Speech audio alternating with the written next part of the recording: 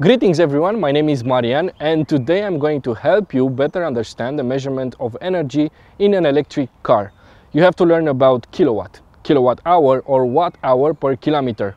These terms are really confusing if you want to buy an electric car or you just got one and even for me it was. So I'm going to explain this in simple, simple terms.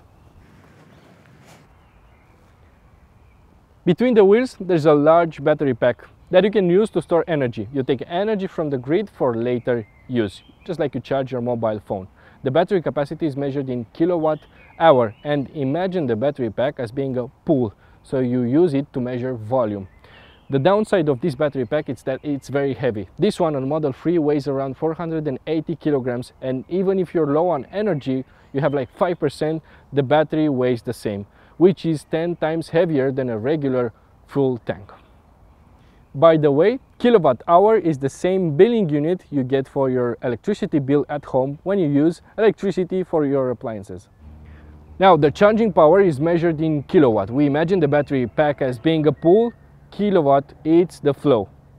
So if you have a 22 kilowatt charging station and you have a 90 kilowatt hour battery pack, you can divide 90 by 22 and see how long it takes to charge the battery. Of course, there are some limitations for battery health, but this helps you easier understand the difference between kilowatt and kilowatt hour. Now, let's go inside and see what kind of information the trip computer shows us.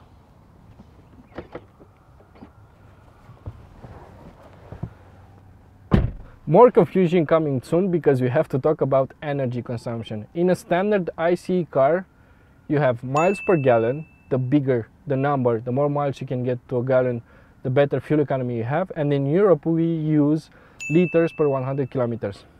In this car, in a Tesla Model 3 or any other electric car, we have kilowatt hour per 100 kilometers or watt hour per kilometer. In this case, we use watt hour per kilometer.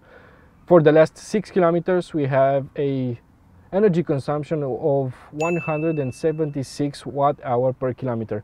If we do some math, that equals 17.6 kilowatt hour per 100 kilometers. It gets really confusing, but the lower the number, the better your energy consumption is. Also on this trip computer, we can see how much energy we used since the last charge. We used 13 kilowatt hour at an average of 201 watt hour per kilometer.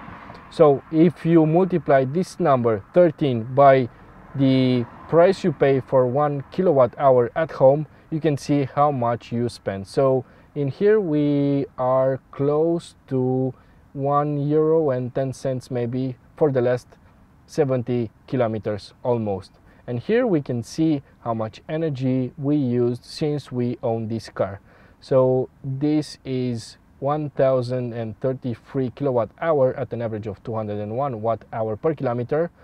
And if we multiply this by the price we pay in Romania for instance we saved about 118 euros for the last 5000 kilometers. That's amazing. And let me tell you a secret. We drove this car from Germany to Romania and we used free supercharging. We charged only at free stations and um, the owner of this car has solar panels at his house and he almost uh, drove this car for free and this car already pays for itself. So if you drive this car for 15,000 kilometers in one year, you will spend roughly 360 euro. But, but you can also charge it for free and have solar panels, free energy everywhere. And this car can pay itself quite soon actually. If you like this video, don't forget to subscribe to our channel for more quality content and see you next time. Bye.